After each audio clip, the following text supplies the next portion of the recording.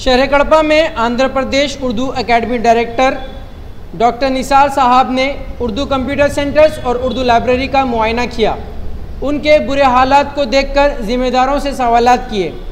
Library और computer centres की तरक्की और असलाह के लिए सख्त इकदाम उठाते हुए शहर में उर्दू तलबा की अक्सरियत को मद्देनज़र रखकर शहर के मुख्तलिफ़ इलाकों में उर्दू लाइब्रेरी और कंप्यूटर सेंटर के क़्याम का वादा किया है। उर्दू अकेडमी उर्दू लाइब्रेरी में अखबार के अलावा मुख्तलिफ़ किताबें जैसे सियासी, समाजी माशराती जोग्राफ़ी और बच्चों की दिलचस्पी को बढ़ाए, ऐसे किताबों का इंतज़ाम करने का फ़ैसला लिया है। इस सिलसिले में डॉक्टर निसार साहब ने हमसे बात की। जहाँ उर्दू अवाम है, उर्दू तलबा तलबा हैं और उर्दू उर्दू पढ़ने वाले और उर्दू के कॉलेजेस हैं, इस लिहाज से यहाँ कड़पे में जो आबादी के लिहाज से और यहाँ चार सेंटरों की ज़रूरत है। शहरे कड़पे में अगाड़ी और रविंद्र नगर अलमास पेट और भी इलाके हैं।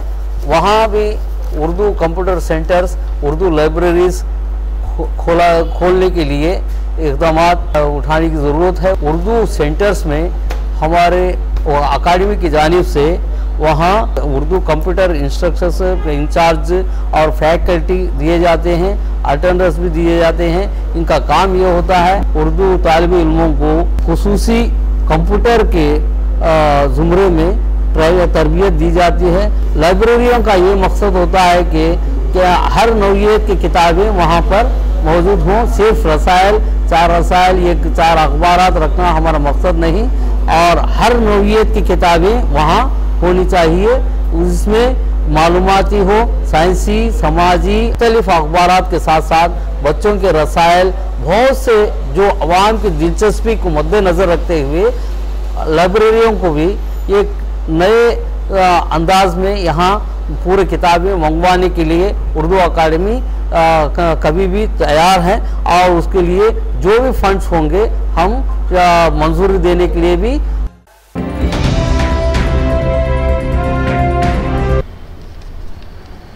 कड़पा शहर के टीडीपी पार्टी ऑफ़िस में सीएम रिलीफ फंड के जेर एहतमाम लोगों को बीमारियों के इलाज पर होने वाले खर्च की रकम अदा की गई।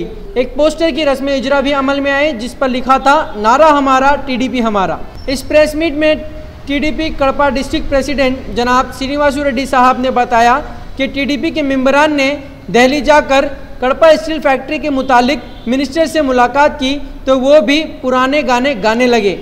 इसके अलावा अमीर बाबू साहब ने बताया कि इस माह के 28 अगस्त गुंटूर में एक पब्लिक मीटिंग का एहतमाम किया गया है जिसमें चंद्रबाबू नायडू साहब शिरकत फरमाकर माइनॉरिटी से मुलाकात करके उनके मसले जानकर उसे हल करने की कोशिश करेंगे नारा हमारा नारा हमारा ఈ నెల ఒకటవ తేదీ బుధవారం రోజు తెలుగుదేశం పార్టీ తరపున మరియు కడప జిల్లా ఉప్పు జేఏసీ ఆధ్వర్యంలో జిల్లా ఇన్ఛార్జ్ మంత్రి సోమిరెడ్డి చంద్రమోహన్ రెడ్డి గారు జిల్లా మంత్రి ఆదినారాయణ రెడ్డి గారు పార్లమెంట్ సభ్యులు రమేష్ గారు అట్లాగే ఎమ్మెల్సీలు ఎమ్మెల్యేలు నియోజకవర్గ ఇన్ఛార్జీలు అట్లాగే జేఏసీ నాయకులు అందరం కలిసి చలో ఢిల్లీ కార్యక్రమాన్ని ఏర్పాటు చేసుకొని ఈ నెల ఒకటవ తేదీన ముఖ్యమంత్రి వీరేంద్ర సింగ్ గారిని కలిసి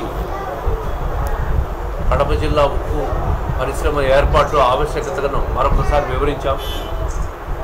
దీనికి రాష్ట్రంలో ఉన్న తెలుగుదేశం పార్టీకి చెందిన ఇరవై రెండు మంది ఎంపీలు కూడా ఆ కార్యక్రమానికి వచ్చి ఉక్కు ఫ్యాక్టరీని ఏర్పాటు చేయాలని చెప్పి చాలా బలంగా ముఖ్యమంత్రి గారి దగ్గర వాదన వినిపించడం జరిగింది. ఏదైతే టాస్క్ ఫోర్స్ ఏర్పాటు చేశామో ఆ టాస్క్ ఫోర్స్ నివేదిక మాకు అందలేదు. అని షరామామూలుగా మళ్ళీ భారతీయ జనతా పార్టీ కేంద్ర ప్రభుత్వం అదే పాట పాడతా పాట పాడటం జరుగుతాం ఇప్పటికే రాష్ట్ర ప్రభుత్వం తరఫున ముఖ్యమంత్రి చంద్రబాబు నాయుడు గారు మూడు రకాల ప్రతిపాదనలు కూడా లిఖితపూర్వకంగా కేంద్ర ప్రభుత్వానికి ఇవ్వడం కూడా జరిగింది. దేని మీద కూడా ఒక స్పష్టత ఇవ్వకుండా మేమందరము కడప జిల్లా నుంచి న్యూఢిల్లీకి పోయి దీని మీద విజ్ఞప్తి చేస్తే మళ్ళీ పాత పాటే పాడడం జరిగింది.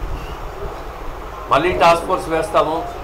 నివేదిక తెప్పించుకొని మెకాన్ వాళ్ళతో టాస్క్ ఫోర్స్ వాళ్ళతో మళ్ళీ ఒకసారి చర్చలు జరిపి ఏర్పాటు పైన ఒక నిర్ణయం తీసుకుంటామని చెప్పి చెప్పడం జరుగుతూ ఉంది పార్లమెంట్ జరుగుతున్నప్పుడు ఏ ప్రకటన నేను చేయలేను.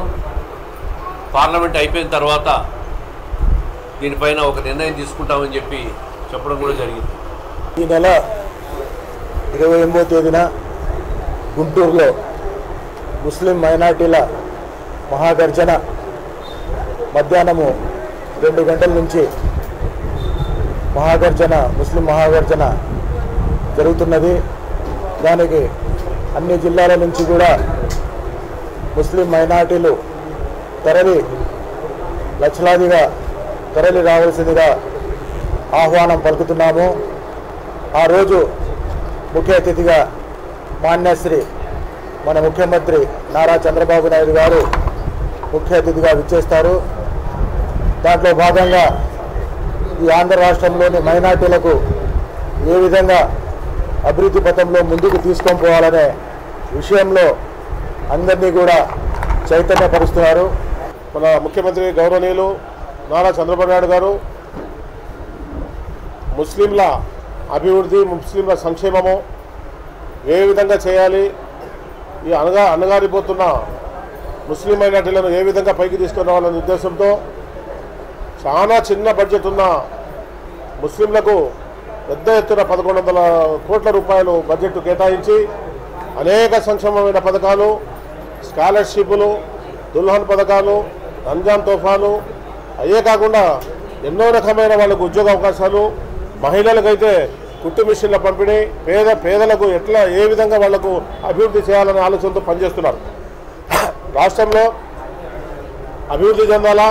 కేంద్ర ప్రభుత్వ సహాయం మనకు కావాలనే ఆలోచనతో కొంతకాలం బీజేపీతో పొత్తున్నప్పటికీ ముస్లింలకు ఎక్కడ కూడా బీజేపీ వాళ్ళు ఎన్నో రకాల ఇబ్బంది పెట్టాలని ఉన్నప్పటికీ చంద్రబాబు నాయుడు గారు ముస్లింలకు అండగా ఉంటూ వాళ్ళకి ఎక్కడా ఆంధ్రప్రదేశ్లో ఎటువంటి ఇబ్బంది లేకుండా చూసుకుంటూ రావడం జరిగింది.